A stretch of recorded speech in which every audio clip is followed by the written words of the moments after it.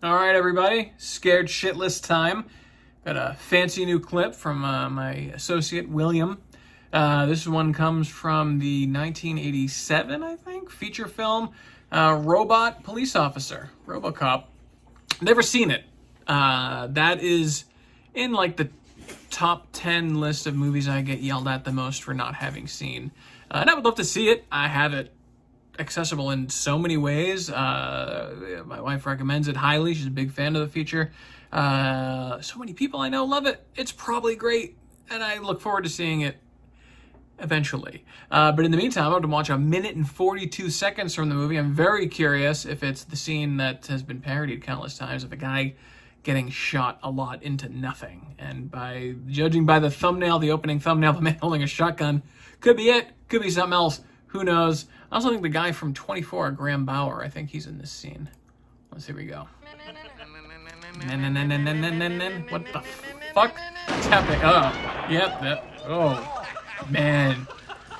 I don't enjoy hand loss. I don't enjoy human mutilation, especially while the human's still alive and conscious of it. People are mocking it. Those are all things that fuck me up deeply because I'm always afraid it's going to happen to me. This is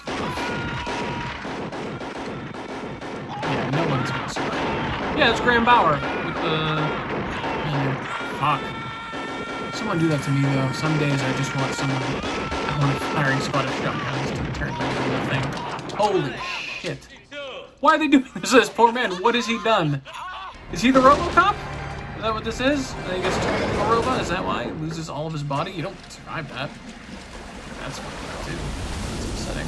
That's Terminator level uh, weird body horror. Acid. Oh boy. No thank you. No thank you to acid and burning and burn victims and loss of skin and melting. Oh. Oh, Graham Bauer. Oh no.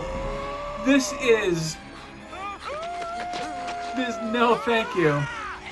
Fuck, no. Oh, don't say help me. Oh, the eye, all of this is everything I fear. Oh, man.